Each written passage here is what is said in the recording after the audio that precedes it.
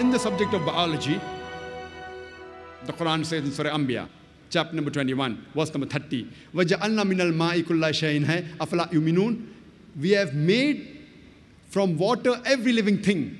Will you not then believe?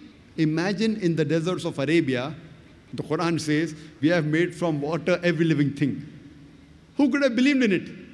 Today, after science advance, we have come to know that every living creature has got cells, and the basic substance of cell is cytoplasm, which contains about 80% water. And today, science tells us that every living creature contains about 50 to 90% water. Quran mentioned in Surah Nur, chapter number 24, verse number 45.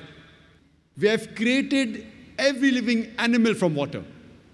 The Quran says in Surah Furqan, chapter number 25, verse number 54, we have created every human being from water.